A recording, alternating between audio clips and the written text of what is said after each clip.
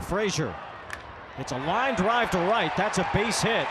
And one hops the wall. Renfroe gets it quickly, turns and fires to second. Frazier on his way. Wow.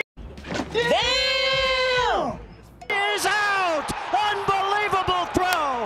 Hunter Renfroe from the right field wall guns down his former. Rocket. What a magnificent play.